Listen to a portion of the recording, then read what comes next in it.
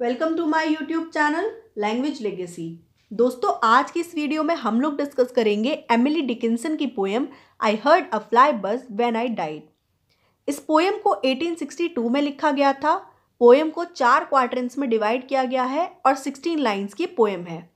Poem की rhyming scheme A B C B की form में है। इस पोएम की theme death and mystery of death है। इस पोएम में पोएट आफ्टर लाइफ एक्सपेक्ट कर रही है।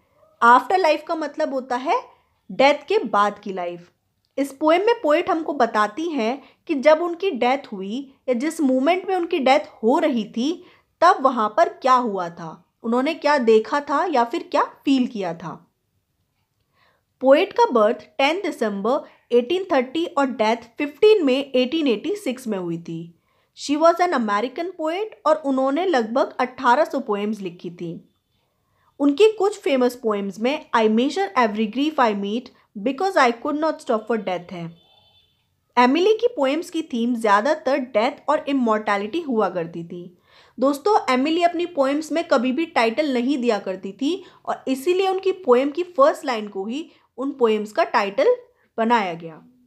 चलिए, बिना देरी किए स्टार्ट करते हैं हमारी poem I heard a fly buzz when I died मुझे एक मक्खी के पंख फड़फड़ाने की आवाज़ आई, जिस मूवमेंट में मैं मर गई। The stillness in the room. उस कमरे में इतनी शांति थी। Was like the stillness in the air between the heaves of storm जैसे तूफ़ान के बाद या तूफ़ान के बीच में जो शांति छा जाती है, उस समय उस कमरे में वैसी ही शांति थी, यानी वैसा ही सन्नाटा उस कमरे में था। The eyes around had wrung them dry.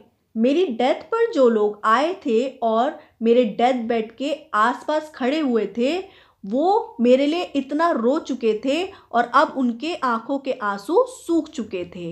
And breaths were gathering firm for the last onset और सभी लोग अपनी सांसों को थाम कर मेरी डेथ आने का वेट कर रहे थे कि कैसे मेरी डेथ होगी और कब, किस मोमेंट में मैं मर जाऊँगी।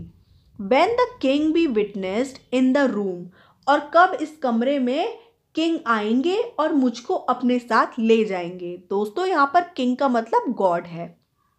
I will my keepsakes signed away मैंने अपनी विल्स पर साइन कर दिया। What portion of me be assignable और जिन भी चीज़ों के मैं हिस्से कर सकती थी, मैंने उनके हिस्से अपने फैमिली मेंबर्स के बीच में कर दिए। And then it was there interpose a fly और तभी अचानक से वहाँ पर एक मक्खी आ गई। With blue uncertain stumbling buzz वो मक्खी पूरे कमरे में ऐसे भरना रही थी, मानो उसे पता ही नहीं था कि उसको जाना कहाँ है। दोस्तों, यहाँ पर ब्लू विद ब्लू का मतलब है, जो कैंडल जब भुजने वाली होती है तो उसकी फ्लेम का कलर ब्लू हो जाता है। और वो ब्लू कलर यहाँ पे ओमेन बताया है, यानी एक पूर्व सूचना बताई है किसकी? डेथ की, ठीक है? तो वो मक्खी पूरे कमरे में भना रही थी और कैंडल का वो जो ब्लू कलर था वो भी ओमेन था, मक्खी का बनाना भी डेथ का ओमेन था। तो ये दोनों सिंबल डेथ के थे। Between the light and me, और तभी वो मक्खी फड़फड़ाती हुई रोशनी और मेरे बीच में आ गई। And then the windows failed and then I could not see to see और धीरे धीरे उन विंडो से आने वाली रोशनी फीकी पड़ गई और मुझे सब कुछ दिखाई देना बंद हो गया, यानी मेरी डेथ हो गई। आई होप दोस्तों आपको ये मेरी समरी समझ आई होगी। इस पोएम में पोइट ने हमको उस मोमेंट को बताया जिस मोमेंट में किसी भी इंसान की डेथ होती है। अगर आपको मेरी समरी समझ आई हो तो do like share comment and subscribe to my YouTube channel language legacy and मुझे कमेंट सेक्शन में बताइएगा कि आप लोग मेरी नेक्स्ट वीडियो में कौन सा टॉपिक देखना पसंद करेंगे. Thank you so much for watching